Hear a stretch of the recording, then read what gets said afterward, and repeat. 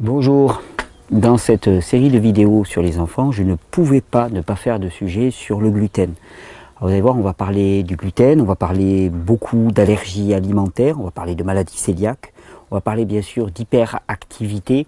On va parler aussi de genèse de la maladie auto-immune. Et donc ça va être un sujet assez transversal. On va focaliser ça sur le gluten, mais vous verrez que ben, ce thème-là pourra être reproduit sur des tas d'autres produits alimentaires et le même phénomène pourra se produire de la même des manières. le gluten actuellement a beaucoup d'intérêt, on met beaucoup d'attention sur le gluten parce que le gluten est présent partout dans notre alimentation. C'est pour ça qu'on cible particulièrement le gluten et les produits laitiers. Pourquoi? Parce que ce sont les plus présents et qui génèrent ce genre de réaction. Mais la plupart des produits contenant des peptides euh, sont sujets à créer ce genre de réaction dans les individus. Alors, quand on parle de problèmes liés au gluten, la première des choses qui vient en tête, c'est maladie cœliaque. Maladie cœliaque correspondant à une atrophie hein, des villosités intestinales. Les villosités intestinales, ce sont ces espèces de, petits poils hein, qui parsèment l'intestin grêle pour améliorer ben, la surface d'absorption. Et à ce moment-là, dans la maladie cœliaque, eh ces petits poils sont atrophiés. Leurs dimensions sont réduites, ils ne peuvent plus absorber de manière adéquate les nutriments. On se retrouve en dénutrition, en malabsorption. Le problème, c'est que la maladie cœliaque correspond à une résorption complète de ces villosités. C'est-à-dire qu'il y a maladie cœliaque, et on verra tout à l'heure comment c'est testé, il n'y a maladie cœliaque que si les villosités sont complètement réduites à néant. C'est-à-dire qu'on est passé de l'état de tapis à poils longs à l'état de carpette complètement rase. Mais ce phénomène de, maladie cœliaque n'est qu'un épiphénomène dans tous les, syndromes liés à des désordres liés au gluten. Et on s'est rendu compte que la maladie cœliaque ne concernait maximum que 10 à 20% des personnes qui sont allergiques au gluten, qui présentent un syndrome d'allergie au gluten. Alors, quand on parle d'allergie, il faut savoir que le système immunitaire utilise ce qu'on appelle des anticorps hein, et des antigènes. Les anticorps et les antigènes vont venir marquer, hein, les antigènes vont venir marquer les produits anormaux qui rentrent dans le système et les anticorps vont venir les détruire. Les antigènes sont des marqueurs, les anticorps sont les agents nettoyants, détruisants, qui vont transformer les matières impures qui sont rentrées dans le corps. On peut considérer ça un petit peu comme, euh, comme l'armée. C'est l'armée de défense du corps. Et dans l'armée, vous savez, il y a différents corps d'armée. Il y a l'armée de l'air, il y a l'armée de terre, il y a l'armée marine, il y a l'armée navale, il y a l'armée sous-marine. Dans le corps, c'est pareil. On a à peu près cinq types euh, d'antigènes, IgA, IgG. Donc IG, ça veut dire antigène, hein. IgM, IgE et IgD. Et ce qui se passe, c'est que quand on parle d'allergie, quand on parle d'allergie cutanée particulièrement, eh bien, on parle d'un test de réaction aux IgE. Or, tous les troubles liés à, des, un défaut de traitement des molécules de gluten, tous les troubles liés au gluten, ces désordres liés au gluten, hein, c'est une espèce de nébuleuse, on va voir ce qu'elle recouvre, eh bien, ne sont pas des réponses de type IgE, mais plutôt IgA et IgG. IgG, c'est euh, l'anticorps le, plus présent, l'antigène le plus, le plus présent dans le corps humain, qu'on va trouver dans le sang et dans la lymphe, qui est censé marquer les éléments étrangers qui sont passés à l'intérieur de la circulation. Et, IgA, ce sont des, antigènes qui sont présents, qui sont présents, je crois, sur les, sur les muqueuses et dans la circulation aussi. Donc, quand on teste pour des réactions d'allergie et qu'on teste au niveau de la peau, on ne teste qu'un seul bras armé finalement. On ne teste que ben, la réaction qui se passe au niveau des IgE. Pour ça que les tests d'allergie, d'allergie cutanée sont extrêmement limités pour rendre compte exactement de ce qui se passe à l'intérieur de la peau, à l'intérieur du, corps. Donc, quand on parle de troubles liés au, gluten, bien, il y a une étude qui a été faite, euh, je crois que je l'ai là avec moi. Euh, est-ce que je l'ai là? Non, je l'ai pas là. C'est une étude italienne qui a été faite euh, sur 38 centres de gastro-entérologie italiens. Et ils ont étudié donc un petit peu 5000 patients dans ces centres de gastro-entérologie. Et je mettrai la, référence de l'étude juste en dessous.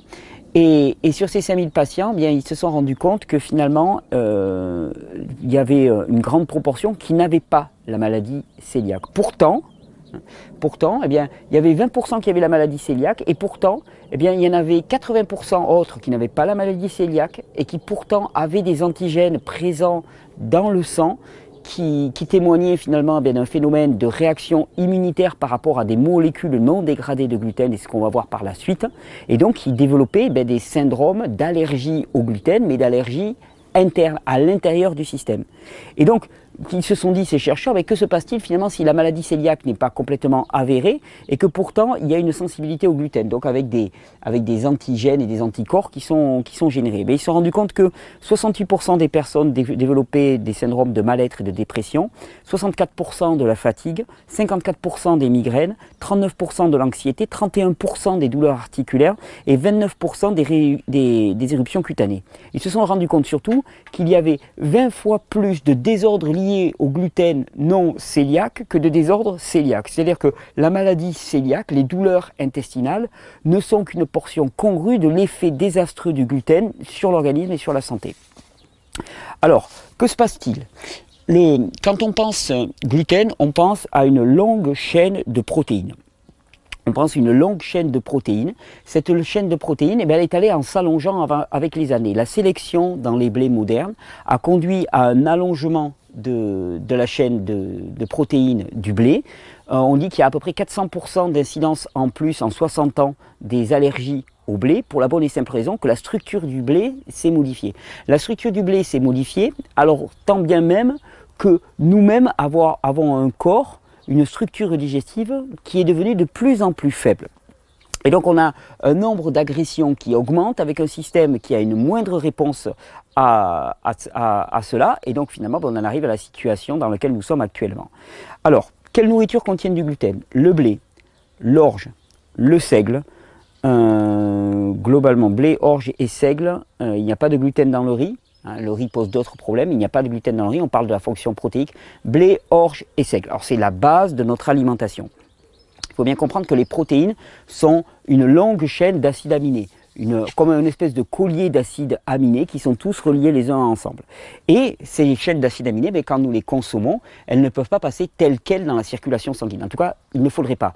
Euh, ce qu'il faudrait, c'est que des enzymes, qui sont comme des petits ciseaux, viennent découper ces chaînes de protéines à différents endroits, de manière à les rendre beaucoup plus simples, à revenir à l'état de peptides, comme on dit, et ces peptides, donc qui sont des acides aminés sous forme simple, peuvent alors passer dans la circulation générale. Le problème, c'est que nous n'avons pas les enzymes nécessaires, c'est-à-dire que nous n'avons pas les ciseaux spécifiques pour décomposer les longues chaînes de gluten. Et alors, qu'est-ce qui va se passer? Eh bien, il y a des peptides, donc des, listes d'acides aminés, des fils d'acides aminés qui vont passer dans la circulation. Alors, il y en a qui font 33 acides aminés, il y en a qui en font 17, il y en a qui en font 21. 33 acides aminés, elle est assez connue. On l'appelle l'alpha-gliadine. Hein. c'est celle qui a, qui a le vent en poupe. Quand on parle du gluten, on parle toujours de l'alpha-gliadine, mais il y en a bien d'autres.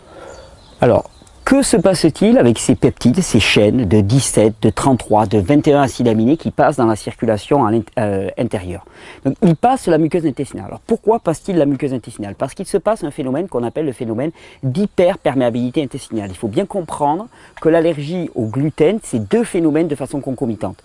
Longue chaîne d'acides aminés que l'on ne peut plus décomposer et passage à l'intérieur de la circulation. Parce que s'il n'y avait pas ce phénomène d'hyperperméabilité intestinale, membrane intestinale enflammée, qui voit sa perméabilité altérée, à la fois mécaniquement, au niveau bactérien aussi, et qui permet le passage de produits anormaux dans la circulation.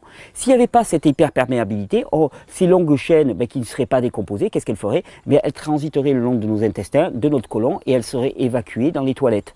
Donc si ça passe à l'intérieur et que ça pose problème, c'est parce qu'il y a une hyperperméabilité. C'est pour ça qu'on me dit toujours, ah mais quelqu'un qui est allergique au gluten, est-ce qu'il a une hyperperméabilité? À partir du moment où il y a des allergies alimentaires, il y a de l'hyperperméabilité, il y a une destruction de la muqueuse intestinale qui est en cours obligatoirement. Ces acides aminés passent dans la circulation générale, euh, ils créent bah, un phénomène d'inflammation et, donc le système immunitaire les reconnaît comme des éléments étrangers.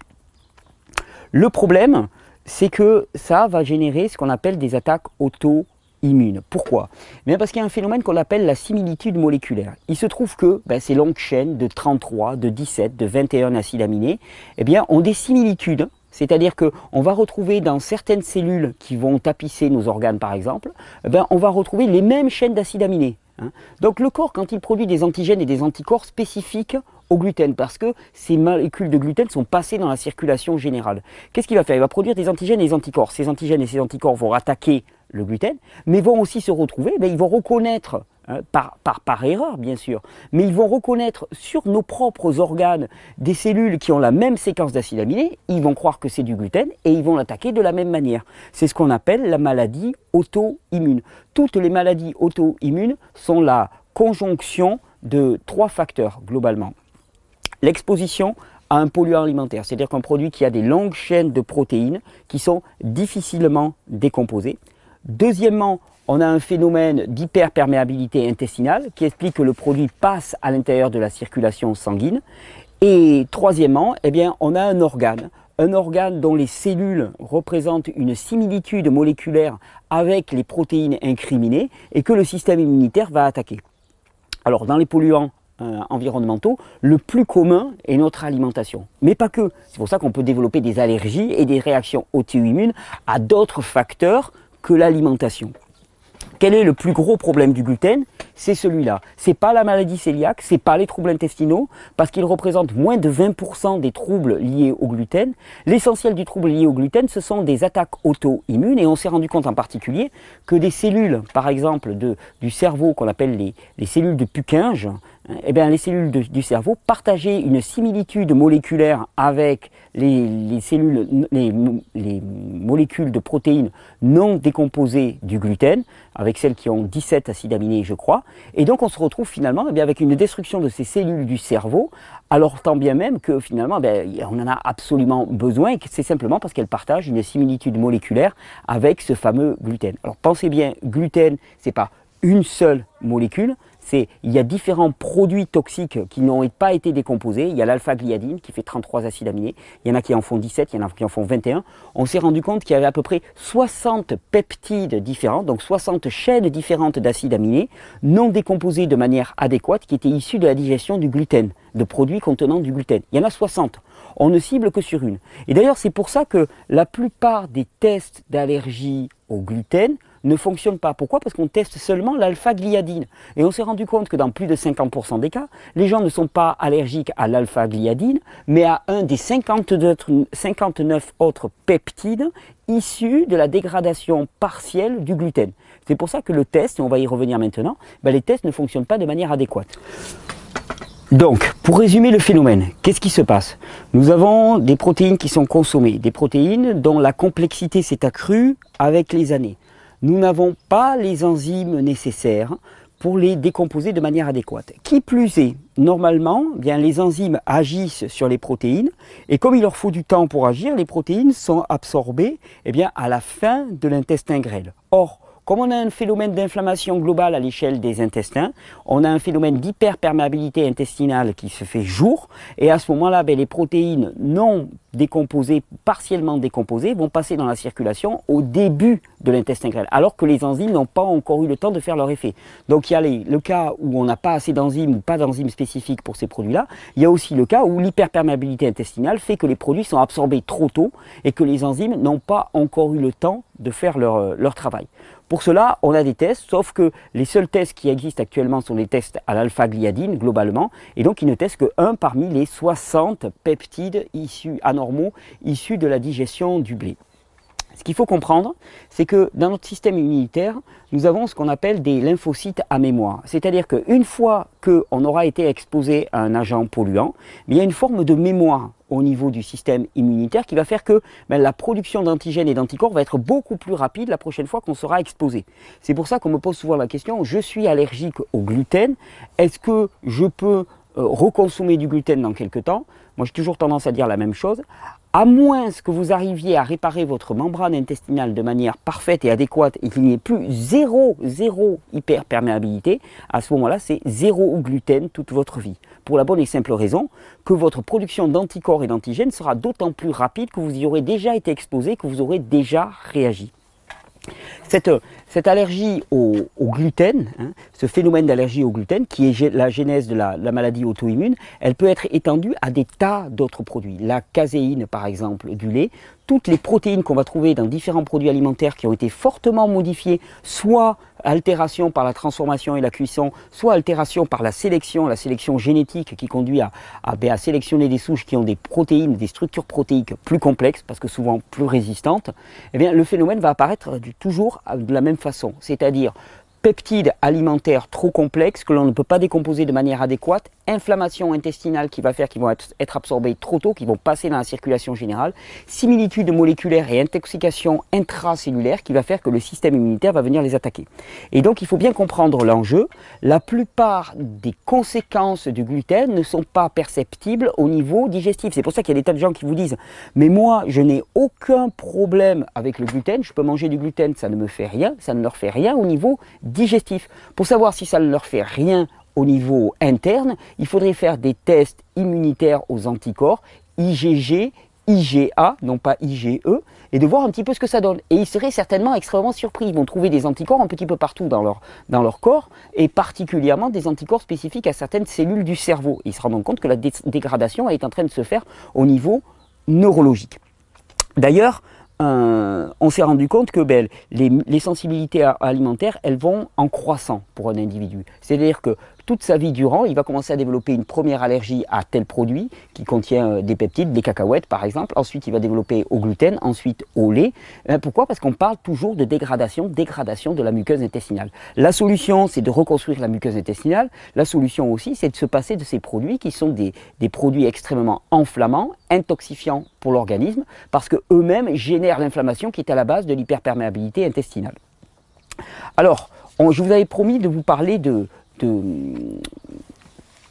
de, troubles de l'attention, d'hyperactivité. Alors, je vais me baser là-dessus sur, sur une étude qui a été faite en Finlande et dans laquelle ils se sont amusés à faire des, scanners cérébraux un petit peu euh, au niveau du cerveau suite à l'ingestion de gluten. Et ils se sont rendus compte que plus de 70% des personnes qui étaient sensibles au gluten, alors sensibles au gluten, ça ne veut pas dire maladie cœliaque, ça ne veut pas dire troubles intestinaux, ça veut dire présente d'anticorps. Ben, plus de 70% des personnes qui étaient allergiques au gluten présentaient quelques heures après l'ingestion de, gluten eh un défaut d'arrivée d'irrigation sanguine au niveau du cerveau. Défaut d'irrigation sanguine au niveau du cerveau. Euh, pour vous donner un exemple, est-ce que vous imaginez la situation? Vous restez deux heures avec les jambes croisées. Hein puis d'un seul coup, on vous dit de vous lever et de vous mettre à courir. Qu'est-ce qui va se passer? Vous allez vous tomber. Pourquoi? Parce que vos jambes n'ont pas reçu de sang de manière adéquate. D'un seul coup, vous remettez à courir, il n'y a pas de sang et tout s'effondre. Eh au niveau du cerveau, c'est exactement la même chose en permanence, hein, il y a un défaut d'apport d'oxygène et de sang et de nutriments aux cellules du cerveau. Et donc à ce moment-là, il y a un phénomène qu'on appelle eh le, une espèce de, d'énervement, de, d'asphyxie au niveau cérébral qui conduit le système nerveux à réagir de manière forte. C'est-à-dire que c'est un peu comme si on essayait d'étouffer quelqu'un qui va commencer à se débattre. Le système, le système cérébral, le système neuro, neurovégétatif cérébral ne reçoit plus Hein, ne reçoit plus suffisamment de nutriments et d'oxygène. Et à ce moment-là, qu'est-ce qu'il fait? Eh bien, Il y a une, excitation de tout le système nerveux de manière à réclamer plus d'oxygène. C'est le phénomène d'hyperactivité chez les enfants. Et d'ailleurs, comment est-ce qu'on soigne, soi-disant, l'hyperactivité? En donnant des amphétamines. Hein. La ritaline ou le ritalin, hein, ce sont des amphétamines, c'est du speed. Comment peut-on soigner des enfants qui ont de l'hyperactivité avec des produits qui sont des amphétamines? Simplement parce que les amphétamines vont forcer la circulation sanguine et donc calmer cette réaction du système nerveux. Je vous parler d'une étude, d'une étude qui a été faite en Finlande. En fait, c'est une étude qui n'était pas du tout faite par rapport au gluten. C'était une étude qui était faite par rapport aux troubles cardiovasculaires. Pendant 30 ans, ils ont suivi des enfants, c'est-à-dire qu'ils les ont pris quasiment au berceau, sur 5000 familles en Finlande. Ils ont pris les enfants au berceau, ils les ont suivis pendant 30 ans. Et euh, deux fois par an, ils leur prenaient ben, des, échantillons de sang. Le but était de suivre l'évolution des troubles cardiovasculaires en fonction de l'alimentation et de différents facteurs. Sauf que cette base de données, elle était présente. Et, et donc il y avait tous ces échantillons de sang qui avaient été gardés. Et certains chercheurs, récemment se sont dit, et si on exploitait ça pour voir un petit peu ce que donnerait dans la vie de l'enfant une sensibilité au gluten? Donc ils se sont amusés à, bien, à isoler dans cette population de 5000 enfants ceux qui avaient des anticorps dès leur plus jeune âge et qui présentaient une allergie au gluten. Et ils ont vu leur parcours scolaire. Et ils se sont rendus compte à quel point bien, les enfants qui avaient une sensibilité au gluten dès leur plus jeune âge, qui était bien sûr non diagnostiqués, avaient un taux d'échec en termes scolaires, en termes de, tests cognitifs, de tests intellectuels, qui était mais sans regard, sans commune mesure, avec ce qui était pour les enfants qui n'étaient pas sensibles au gluten. Donc le gluten impacte directement le fonctionnement cognitif de votre enfant Et il y a un moment où, en tant que parent, on doit reprendre ses responsabilités. Il ne faut pas compter sur notre système de santé actuellement pour le faire. Ces phénomènes d'hyperperméabilité intestinale sont peu connus, méprisés. Les, allergies liées au blé commencent à peine à rentrer dans les, dans les mœurs, on commence à peine à en parler, et encore, c'est plus vécu comme des troubles psychosomatiques qu'autre chose. Donc la question que j'ai envie de vous poser, c'est quel est le potentiel réel de votre enfant s'il fonctionne sans gluten? Hein. et qu'est-ce que vous, en tant que parent, vous allez faire pour libérer le maximum de potentiel de votre enfant? Parce qu'il faut voir, on parle toujours de difficultés, difficultés d'apprentissage, et il faudrait quand même commencer à considérer eh les entraves à l'apprentissage que l'on pose, d'abord au niveau alimentaire, en exposant l'enfant à des polluants alimentaires majeurs, qui plus est avec une hyperperméabilité intestinale de cet enfant parce qu'il n'est pas nourri de manière adéquate et donc il y a une inflammation au niveau de ses intestins, qui plus est il a hérité du bagage minéral de sa maman qui n'était peut-être pas déjà très élevé, donc structure des tissus qui constituent la muqueuse intestinale qui était faible, et donc quel est le potentiel réel de votre enfant s'il n'était pas pollué en permanence par ce gluten? Donc, le gluten, le phénomène d'allergie au gluten, il faut vraiment comprendre que c'est quelque chose qui n'est pas obligatoirement quelque chose que l'on va sentir. C'est pour ça que cet argument de dire, voilà, euh, moi, mon enfant, il n'a pas mal au ventre, donc il n'a pas de problème, ça ne tient pas la route. Et par principe de précaution, moi j'ai tendance à, conseiller à tout le monde, arrêtez le gluten. Pourquoi? Parce que vous ne savez pas quel est l'état de la muqueuse intestinale de votre enfant. S'il présente des allergies, vous savez qu'elle est dégradée. Alors si vous savez qu'elle est dégradée, vous savez qu'il y a toutes les chances qu'il y ait des peptides non dégradés qui passent à l'intérieur de la circulation et qui est déjà actuellement une réaction auto-immune qui sont en cours. Il est temps de l'arrêter pour permettre la réparation des tissus. C'est tout le problème avec le gluten. C'est tout le problème auquel nous nous trouvons confrontés. Une, une entre des produits alimentaires de plus en plus toxiques, de plus en plus inappropriés à l'alimentation et un système qui était un système de tri, de filtre, qui était notre écosystème intestinal, qui est de plus en plus faible, qui est enflammé, qui présente une hyperperméabilité. Donc dans un sens, ça tire vers la toxicité, et dans l'autre sens, ça tire vers la fragilité. Obligatoirement, les problèmes surviennent. Et les problèmes, ils s'appellent troubles auto-immunes. Et les troubles auto-immunes, eh bien, ils mettent des dizaines d'années pour apparaître. On s'est rendu compte qu'on peut détecter des anticorps, par exemple, à la thyroïde ou à certaines cellules du cerveau. On peut les détecter 15 ans, 20 ans avant qu'un trouble apparaisse. Donc c'est quelque chose, c'est silencieux. Hein. Les symptômes ne sont finalement ben, que la, la, dernière phase. Quand les symptômes apparaissent, ben, ça fait déjà bien longtemps que la dégradation a eu lieu. Et je dirais presque, c'est pas trop tard, parce que je ne crois pas que ce soit jamais trop tard, mais c'est déjà bien avancé. Il s'agirait de réagir avant, par principe de précaution. Alors j'espère que dans cette vidéo, vous aurez compris quel est le challenge avec le gluten. À quel point ben, les tests d'intolérance au gluten, ils sont simples. Est-ce que votre enfant a des allergies alimentaires? Est-ce que votre enfant a des troubles de type ORL Est-ce que votre enfant a des troubles de type euh, dermite, euh, inflammation de la peau? Est-ce que votre enfant est agité? À ce moment-là, il y a toutes les chances qu'il ait une hyperperméabilité intestinale installée et qu'il réagisse aux longs peptides alimentaires qui ont été introduits de façon moderne dans notre alimentation. Je pense au gluten, je pense à la caséine du lait non dégradé, et donc le principe de précaution par excellence, eh ça serait de reprendre sa responsabilité et de supprimer ces aliments en expliquant à l'enfant que ces produits sont des poisons. C'est-à-dire que souvent on me parle de frustration, on me dit ouais mais la frustration de l'enfant. Mais tout autour de nous, par exemple, il y a des gens qui boivent de l'alcool. Est-ce qu'on doit être frustré de ne pas boire de l'alcool? On fait une éducation aux enfants en leur disant voilà, tu n'as pas intérêt à boire de l'alcool. Alors bien sûr, ça ne les empêche pas de faire leur propre expérience, mais quand même au fond de nous, on sait que l'alcool, ben, c'est pas bon pour la santé. Hein. on l'a intégré et très rapidement, même si on, on peut s'adonner à cette addiction, au bout d'un moment, on va avoir le désir de changer, de changer nos habitudes, parce qu'on a compris et on l'a intégré en nous. Mais par rapport au gluten, et aux produits laitiers non transformés tels qu'on peut les consommer actuellement, stérilisés avec des longues chaînes de protéines, on devrait raisonner de la même façon. C'est ancré dès le départ que ce sont des produits toxiques.